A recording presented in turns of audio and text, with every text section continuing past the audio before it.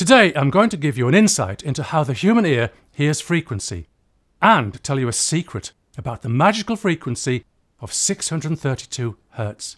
Actually, 632.45553. Learn audio online with Audio Masterclass. AudioMasterclass.com.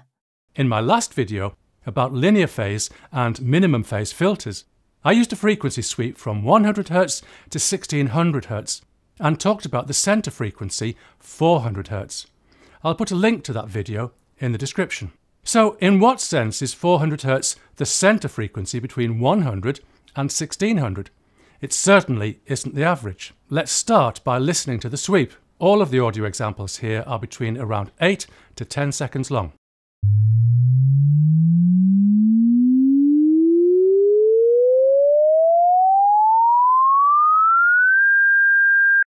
That was exciting, wasn't it? It's the kind of thing that pleases me. I invite your comments. So let's listen to 100 Hz. You'll need to be listening on proper speakers or headphones. Laptop speakers or eBay earbuds probably won't do much for you.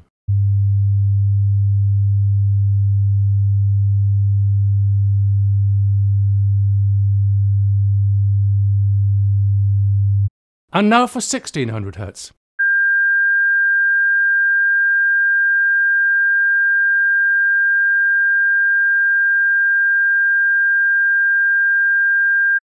So how can we find the center frequency between 100 and 1600? Let's take an average. 100 plus 1600 equals 1700. Divide by 2 gives 850 Hz. Here it is.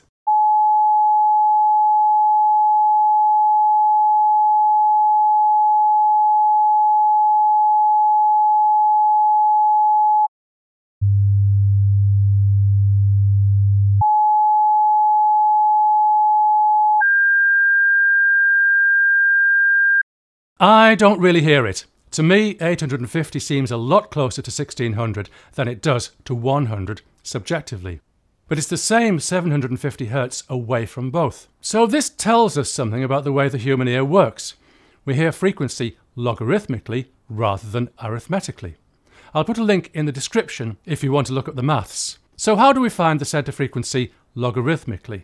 Well, I'm sure mathematical geniuses could suggest plenty of ways, but I'm going to use what's called the geometric mean. To get this, I don't add 100 and 1600, I multiply them. So, 100 times 1600 equals 160,000. Take the square root, 400. 400 hertz. So 400 hertz is the center frequency using this method. Let's list it to 100, 400, then 1600 hertz in sequence.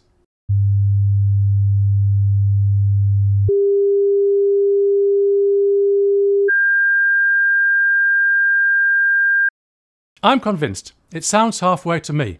If it doesn't to you, let me know in the comments what you think. As I said, it's subjective. You might, by the way, have noticed that the jumps are two octaves. That's just a coincidence, and you can try out this test for yourself with different pairs of frequencies. So this brings me to the magical frequency of 632 Hz. Actually, 632.45553. What does it mean? Well, it's the center frequency of human hearing. Take a moment to absorb that. So, how do I work this out? Simple. It's that geometric mean again. The frequency range of human hearing is normally stated as 20 Hz to 20 kHz. So, if I multiply these, 20 times 20,000 equals 400,000. Take the square root.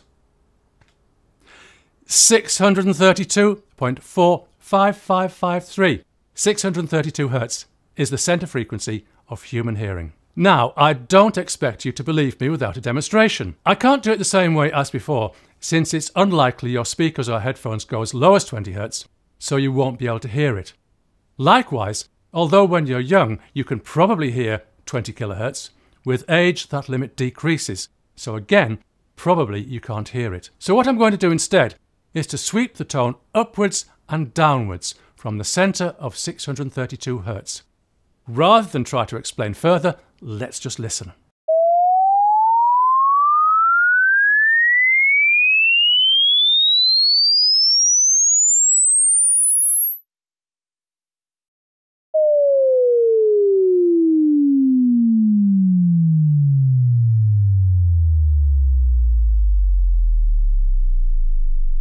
Now, bearing in mind that your speakers or headphones are probably a limiting factor in the low frequencies, does 632 sound central to you? Let's try it another way.